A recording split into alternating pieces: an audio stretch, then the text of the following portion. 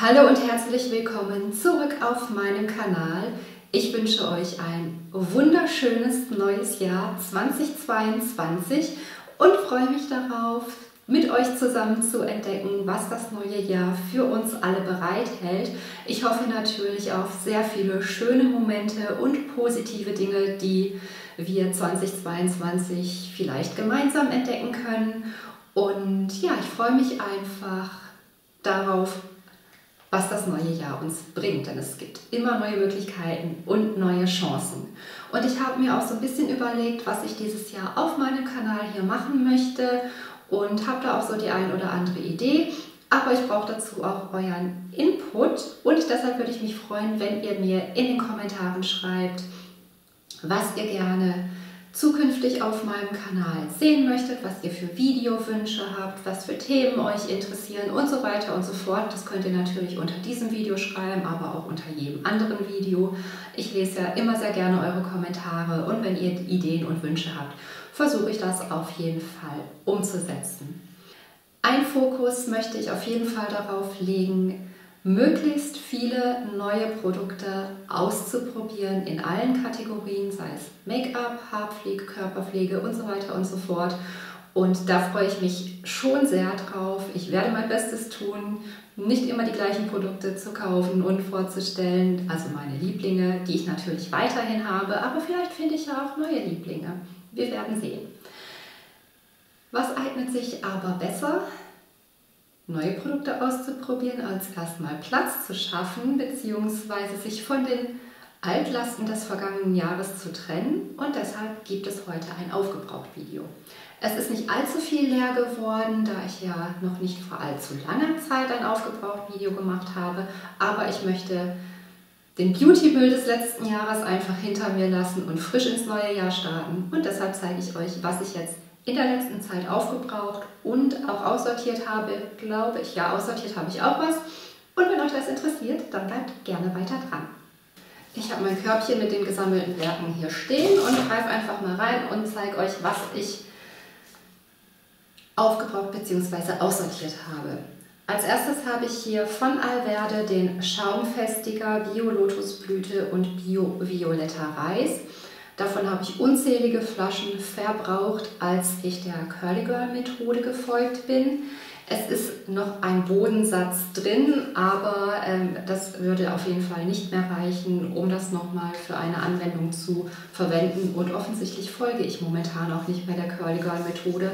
Also darf das gehen. Es ist wirklich nur noch wahrscheinlich ein Mühe drin und deshalb ist es auch nicht schlimm, wenn ich es jetzt wegschmeiße. Es steht auch schon eine ganze Weile unbenutzt im Schrank und ich glaube, dass das auch nicht mehr wirklich gut ist, weil es sich eben um Naturkosmetik handelt.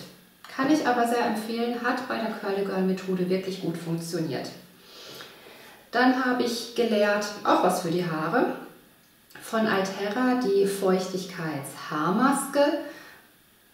Eins meiner All-Time Favorites und das ist sowas, wie ich meine. Ich habe meine Lieblinge, aber ich möchte auch gerne neue Sachen ausprobieren. Hier weiß ich aber, dass ich immer wieder drauf zurückkommen kann, weil das eben mein Favorite ist oder eins meiner Favorites. Ich habe sie jetzt noch nicht nachgekauft, weil ich auch noch andere Sachen im Schrank habe, die ich aufbrauchen möchte und dann eben auch neue Sachen ausprobiere. Also wenn ihr einen Tipp habt für Haarmasken zum Beispiel, immer her damit.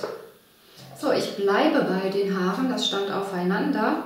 Das hier habe ich auch aufgebraucht. Es stand relativ lange im Schrank, weil auch das aus der Zeit stammt, als ich der Curly Girl Methode gefolgt bin. Und zwar ist das die Shea Moisture Jamaican Black Castor Oil Strengthen and Restore Treatment Mask. Da steht noch wesentlich mehr drauf, aber das ist einfach viel zu viel. Das ist eine sehr intensiv pflegende Haarmaske die man auch gut auswaschen muss, damit die Haare dann nicht äh, strähnig oder fettig erscheinen. Selbst bei meinen trockenen Haaren war das der Fall, wenn ich sie nicht ordentlich ausgewaschen habe. Der Duft ist vielleicht nicht jedermanns Sache, weil es relativ stark riecht, ähm, aber jetzt nicht so parfümig, als dass man davon Kopfschmerzen kriegen würde. Aber es hat einen sehr eigenen, für mich schon angenehmen, aber eben starken Duft. Ähm, hat die Haare sehr, sehr gut gepflegt, weshalb ich sie ja jetzt auch, ähm, wo ich die Haare wieder glatter trage, äh, aufgebraucht habe und gerne benutzt habe. So richtig als Maske eine Stunde lang einwirken lassen. Ähm, gerade hier in den trockenen Spitzen und Längen. Ein wunderbares Produkt.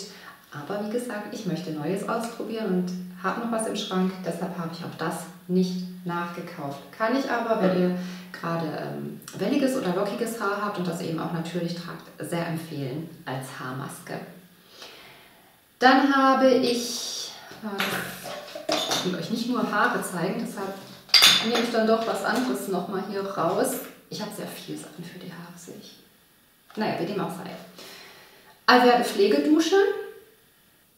Ähm, Bio Sanddorn, Bio Vanille, eine Limited Edition. Habe ich jetzt nicht nachgekauft, aber kaufe ich gerne und immer wieder, solange es das gibt. Und ja, finde ich gut. Hat gut gepflegt, die Haut nicht ausgetrocknet, schäumt wunderbar, riecht angenehm, kann auch ähm, der Mann gerne benutzen. Also insofern kann ich auch das empfehlen, wenn ihr gerne Naturkosmetik oder günstige Naturkosmetik Duschprodukte benutzt. Etwas, das ich aussortiert habe, ist das hier von Sundance, also von der DM-Eigenmarke, das transparente Selbstbräunungsspray für Gesicht und Körper. Das hatte ich mir im Frühjahr oder Frühsommer letzten Jahres gekauft, weil ich einfach mal wieder Selbstbräune ausprobieren wollte, da ich von Natur aus so gut wie gar nicht bräune und ähm, doch eine sehr, sehr helle Haut habe. Deshalb wollte ich das zumindest mal an den Beinen ausprobieren. Es hat bei mir nicht so wirklich funktioniert, weil auch der Sprühkopf nicht so besonders gut ist. Also entweder habe ich zu viel Produkt erwischt, sodass es fleckig geworden ist, beziehungsweise wie so Wassertropfen. Das musste man dann von Hand einreiben. Das war mir alles zu viel, weshalb ich es dann nicht mehr benutzt habe. Und ich habe neulich gelesen, man sollte solche Dinge auch keinesfalls aufbewahren und dann im nächsten Jahr weiter benutzen. Es ist ungefähr noch halb voll aber liegt jetzt eben seit dem Sommer im Schrank und deshalb darf es gehen. Und vielleicht habe ich ja jetzt gelernt, dass Selbstbräunungsprodukte für mich nicht funktionieren. Vielleicht habt ihr ja einen Tipp, was für sehr helle Haut, die von Natur aus gar nicht bräun funktioniert und nicht dann orange oder dunkelbraun aussieht, weil das dann nicht passt. Aber ich versuche es immer wieder und stelle immer wieder fest, es geht irgendwie nicht.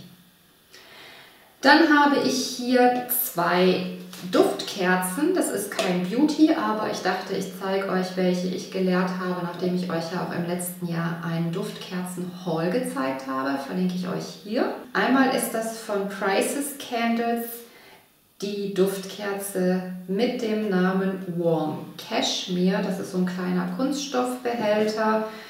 Ähm, wie ihr vielleicht erkennen könnt, ist die Kerze nicht besonders gut abgebrannt, was ich schade finde, weil der Duft wirklich sehr schön war. Für meinen Mann war es ein bisschen zu parfümiert und ich rieche das auch jetzt hier direkt an der Nase, ist es ein bisschen sehr stark. Aber wenn man das mal in einen größeren Raum brennen lässt und ähm, dann in den Raum reinkommt, das ist schon sehr angenehm, finde ich. Vielleicht werde ich diesen übrig gebliebenen Wachs auch noch ähm, weiterverwenden in einem Teelicht oder so. Mal schauen. Ich fand es auf jeden Fall sehr angenehm, fand es eben schade, dass es nicht so gut abgebrannt ist. Was gut abgebrannt ist, ist diese Kerze. Das ist eine Duftkerze von Kneipp. Die hatte ich von meinen Eltern geschenkt bekommen im Oktober. Und die nannte sich oder nennt sich glücklich sein, glaube ich. Ich habe den ähm, Kleber, wo das drauf steht, abgemacht. Da stehen nur noch die anderen Informationen drauf. Also die ist wirklich gut abgebrannt, war auch sehr gut beduftet. Für meinen Mann auch etwas zu stark, weshalb ich das dann nur angemacht habe, wenn er quasi eine Weile nicht in der Nähe war. Aber die hat mir wirklich gut gefallen. Die hat so einen leicht herben Unter Ton im Duft. Also fand ich wirklich sehr schön. Und dieses Glas werde ich wahrscheinlich auch weiter verwenden, weil es eben diesen schönen Holzdeckel hat. Also das mache ich sauber und verwende es dann für was anderes. Dann habe ich, ich habe wirklich viel für die Haare, das hier noch aussortiert. Und zwar von Alverde das Repair Spitzenfluid, Bio Avocado und Bio Shea Butter für strapaziertes und brüchiges Haar. Das habe ich sehr lange in der Schublade gehabt bei meinen Haarprodukten und ich habe einfach Sachen, die ich lieber benutze, weshalb ich dazu nicht wirklich oft gegriffen habe.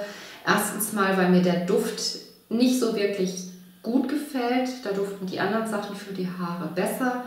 Und ähm, ich hatte auch irgendwie so ein bisschen Probleme beim Dosieren. Wenn ich zu wenig genommen habe, hat es keinen Effekt gehabt. Habe ich zu viel genommen, wurde es dann wieder ein bisschen klebrig. Also das war immer so eine Gratwanderung und ich bin damit nicht so richtig gut klargekommen. Also darf das auch gehen. Wie gesagt, ich habe ein paar andere Lieblinge. Hier sehe ich schon ein Stehen, nämlich das hier.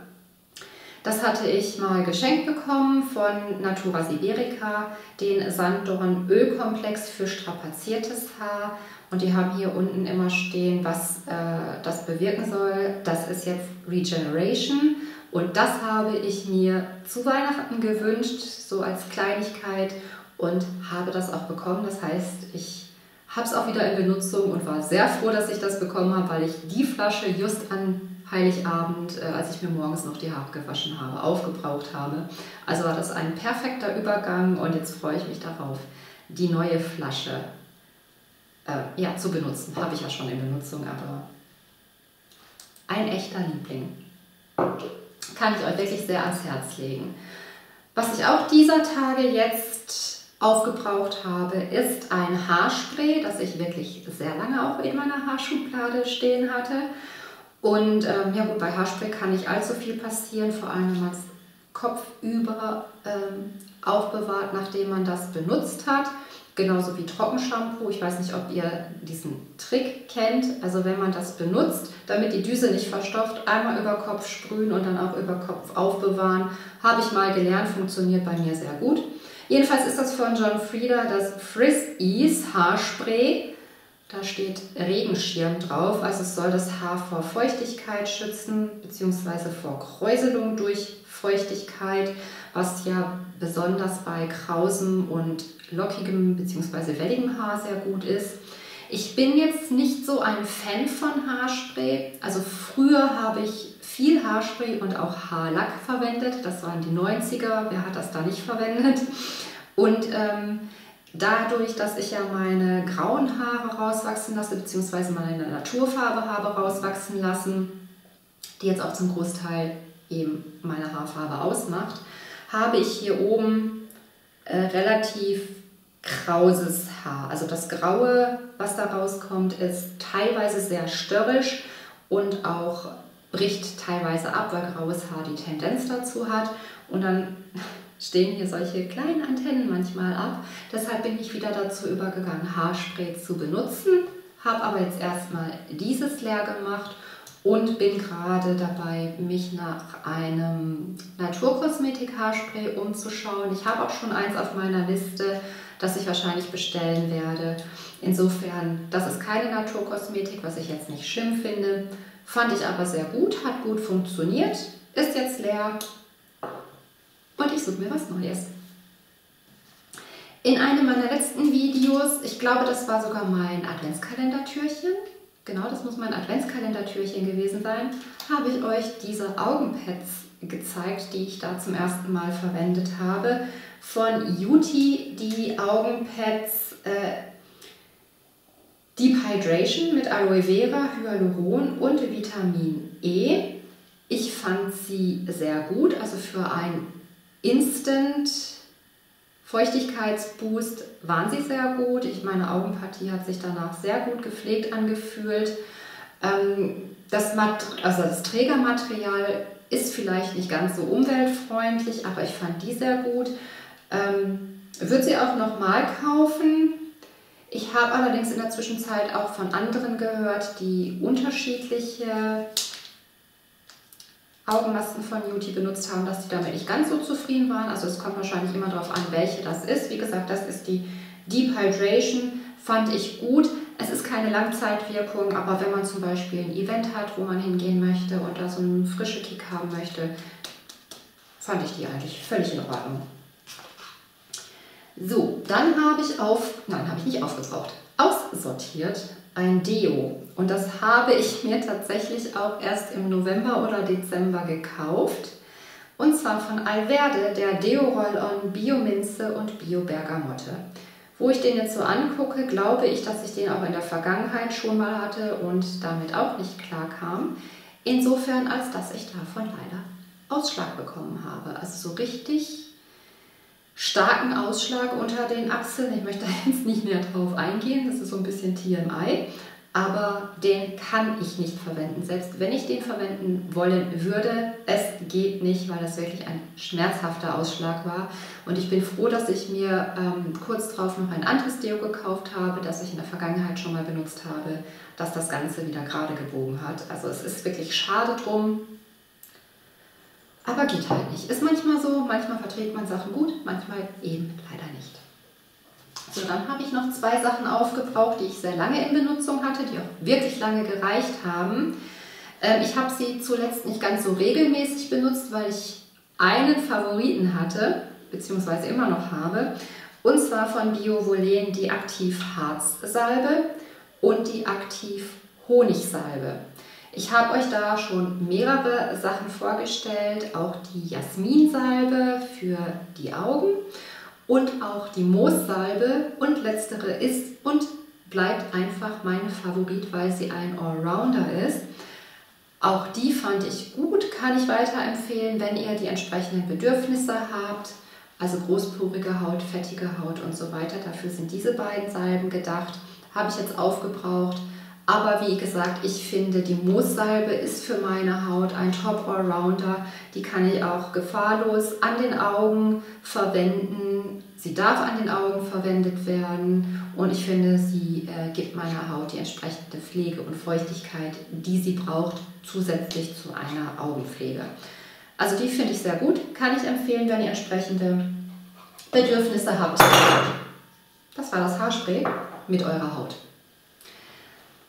Was ich auch aufgebraucht habe, ist von Balea das Vitamin C Serum. Ein echt tolles Produkt, wie ich finde.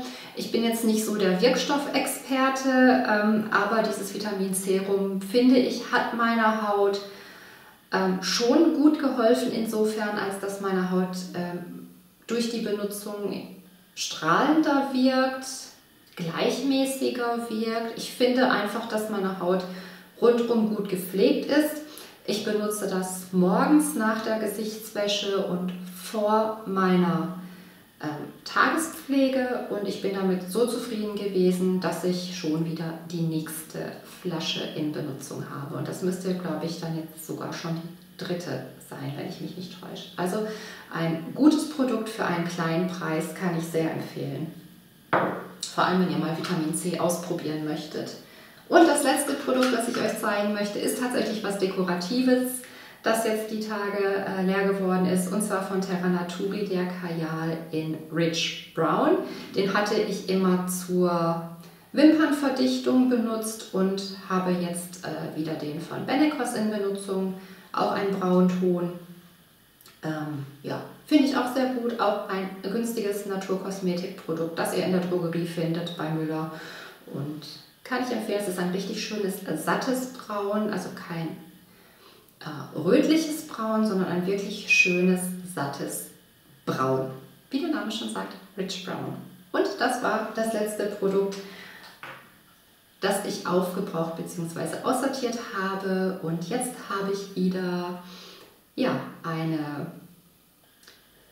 blanke Leinwand sozusagen und werde in diesem Jahr hoffentlich, so wie ich es mir vorgenommen habe, viele schöne neue Produkte kennenlernen. Da werden mit Sicherheit auch die ein oder anderen Flops dabei sein, aber ich hoffe auch viele neue Lieblinge, die ich mit euch teilen kann.